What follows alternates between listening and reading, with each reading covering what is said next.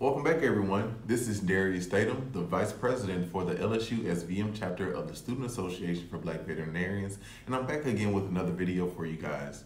So today we'll be introducing the rest of our founding board members, as well as giving you a deeper scope into what we're all about. So without further ado, meet our founding members.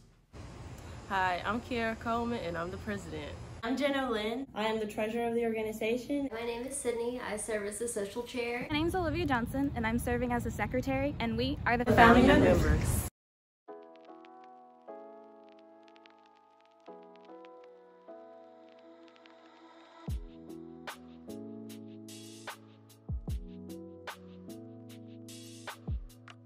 As Darius stated in the previous video, we're honored and excited to start this journey with you all.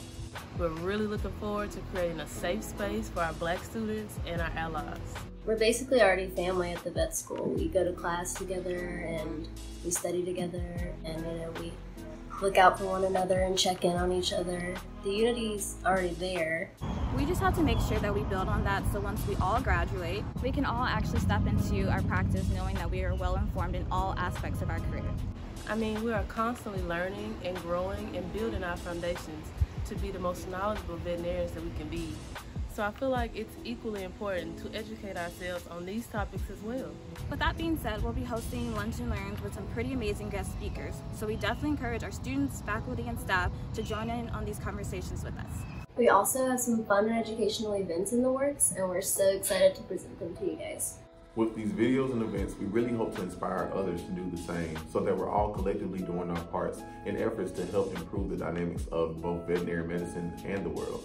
Beyond the scope of veterinary medicine, we really want to inspire kids, teens, and young adults to push for their goals. With all of the negativity that's been going around as of recent, we know things can look a little bit discouraging. So we want to be that positive light for them during these times.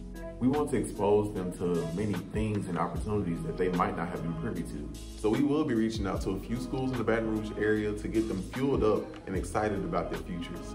Due to the current situation with COVID-19, we're still trying to figure out ways to carry out those plans that we have for y'all. But we are looking forward to connecting with you all. Before we close, I just want to say thank you for all of the support and your encouraging words. It means so much to us. We would love for you to be a part of our efforts. It doesn't matter your race, ethnicity, or background. Everyone is welcome to join the SABV family. Thanks again, and we can't wait to see you soon.